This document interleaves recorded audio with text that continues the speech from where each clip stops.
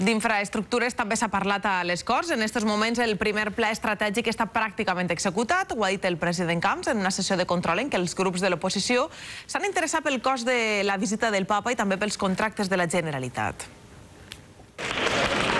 Més de 15.000 milions d'euros ha invertit el Consell des de 2003 en infraestructures del transport, medi ambient i aigua. Ho ha assegurat el president Camps, que ha afegit que aquesta inversió s'ha plasmat en més de 200 quilòmetres de carreteres i en un transport metropolità que utilitza més de 75 milions de viatgers. Somos la comunidad autónoma de España que más agua depura, que más agua reutiliza, que más agua recicla. Hemos puesto en funcionamiento una estación depuradora al mes desde el año 2003 hasta ese momento.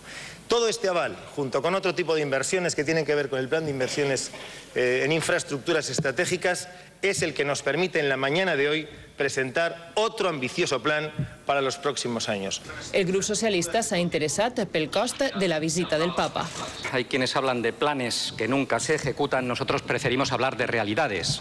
Por ejemplo, la realidad de la deuda, de las actividades que, que la han generado y de cómo vamos a salir de ella. Y por eso preguntamos si tiene algún dato actualizado sobre el coste de la visita de su santidad y alguna valoración sobre la gestión del Consejo sobre la misma. Patética es su actuación jueves tras jueves. Es un espectáculo eh, digno de encomio de cómo se puede malbaratar la representación política de tantos centenares de miles de valencianos que les votaron a ustedes para hacer gestión política y no dedicarse aquí e intentar también malbaratar la imagen de una comunidad que entre todos cada día hacemos más grande, más fuerte y más próspera.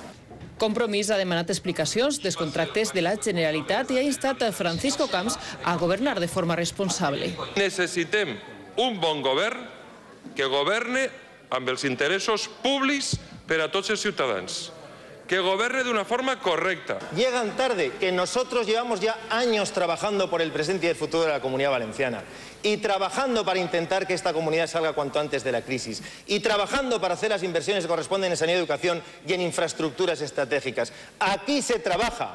El president Camps ha assegurat que una per una totes les denúncies de l'oposició són infundades.